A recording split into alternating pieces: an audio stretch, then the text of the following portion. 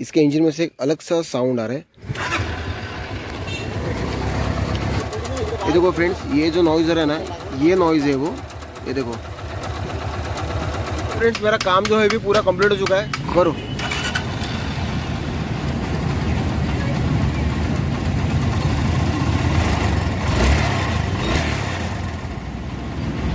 Smooth ना एकदम? I'm conquering the spirit, I'm busting through the ceiling.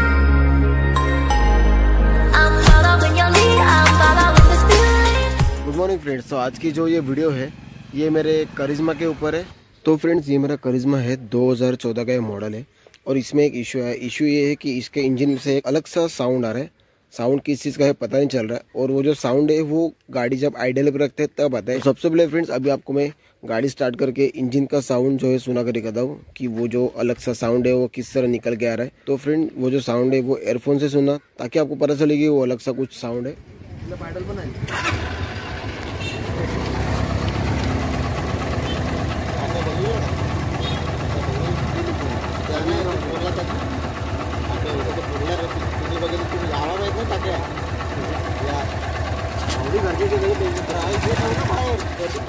ये देखो फ्रेंड्स, ये जो नॉइज़ है ना, ये नॉइज़ है वो। ये देखो। बीच बीच में आ रहा है बीच बीच में नहीं आ रहा है। प्लस बीच बीच में हाई एक्सलेट कर दे तो भी आता है। और ये तो अभी गाड़ी आइडल पे है। ये वो साउंड है। अभी स्टॉप हो गया।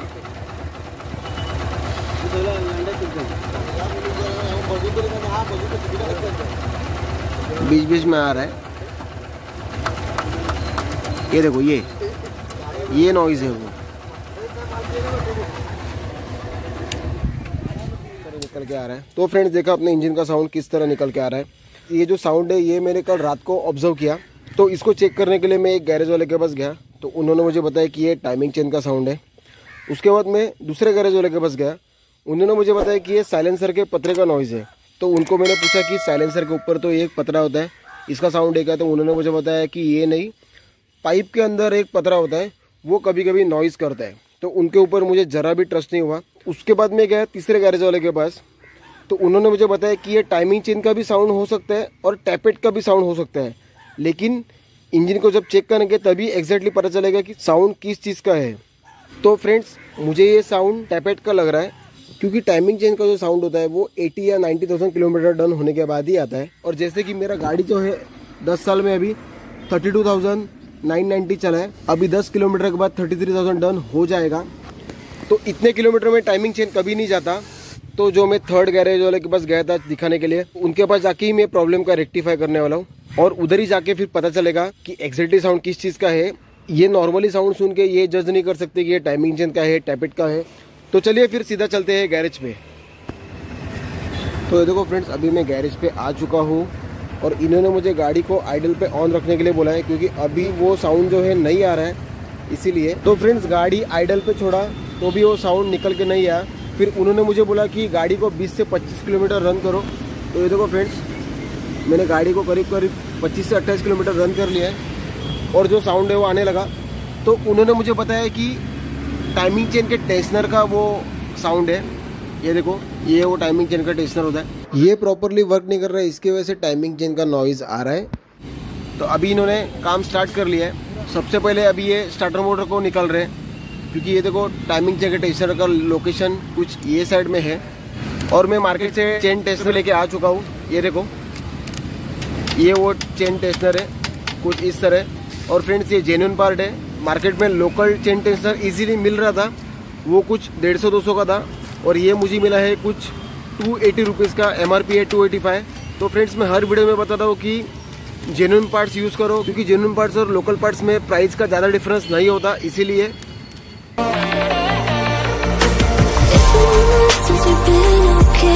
I'm putting off what's coming.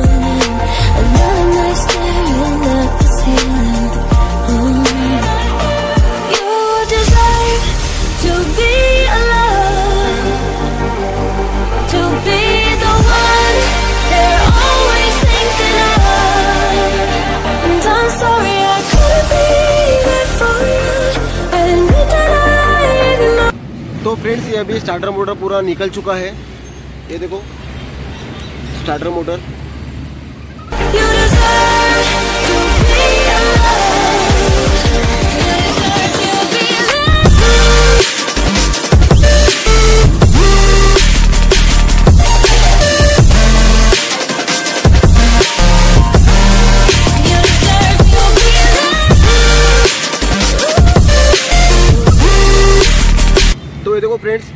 Tensor निकल चुका है। ये एलन बोल्ट पे था। ये देखो। और ये देखो, ये नया टेंसर अभी पुराने टेंसर के अंदर का गैसकेट निकल रहे हैं। ये देखो।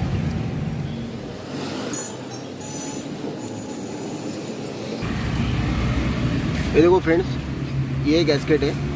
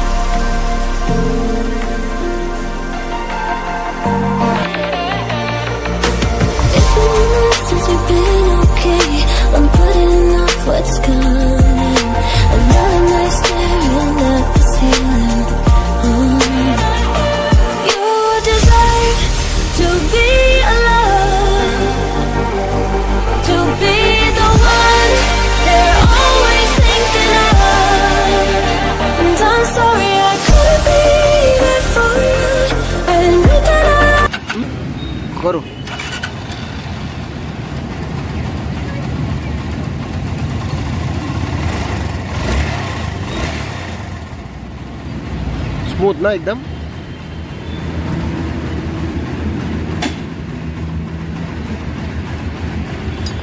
हम्म? तो ये देखो फ्रेंड्स मेरा काम जो है अभी पूरा कंप्लीट हो चुका है। नए टेंसर को भी लगा दिया है स्टार्टर मोटर को भी लगा दिया है, और ये देखो, पुराना टेंसर अभी फ्रेंड्स आपको मैं गाड़ी को स्टार्ट करके दिखाता हूँ। ये देखो, गाड़ी स्टार्ट है। ये देखो इंजन का साउंड इंजन का जो साउंड है वो पूरा स्मूथ हो चुका है। और वो जो अलग सा साउंड आ रहा था, वो भी पूरा बंद हो चुका है। गाड़ी अभी भी गर्म है। एक बार मैं एक्सलेट करता हूँ।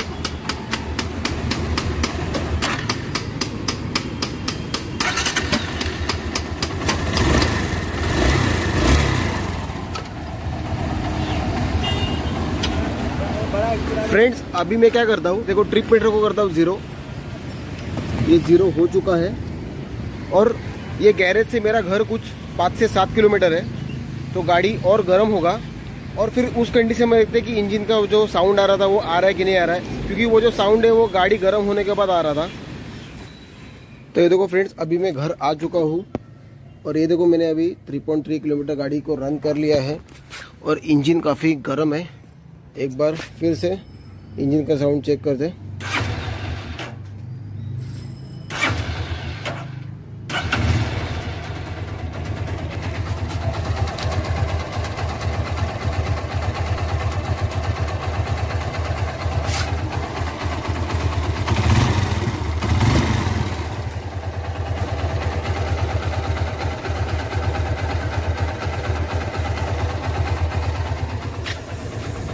तो फ्रेंड जो अलग सा साउंड था, वो बंद हो चुका है।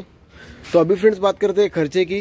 तो फ्रेंड जो मेरा टोटल खर्चा हुआ है, वो हुआ है कुछ चार सौ अप्रॉक्स जो टेंसर का प्राइस था, वो टू एटी तक था, जैसे मैंने आपको वीडियो में बताया था। और लेबर चार्ज उन्होंने मुझे हंड्रेड रुपीज़ बताया बट मैंने उनको वन फिफ्टी रुपीज़ पे कर दिया। तो इसी तरह फ्रेंड्स गाड़ियों में ऐसे छोटे छोटे प्रॉब्लम्स आते रहते हैं, जिनको टाइम पे अगर सॉर्ट आउट नहीं किया तो वो छोटे खर्चे की वजह से लंबा खर्चा भी हो सकता है। तो आई होप ये वीडियो आपको अच्छा लगा होगा। तो चलिए फ्रेंड्स, वीडियो यहीं पे एंड करते हैं। अगर वीडियो अच्छा लगे तो लाइक करो, चैनल को सब्सक्राइब करो। फिर मिलते हैं नए वीडियो के साथ, नए टॉपिक के साथ।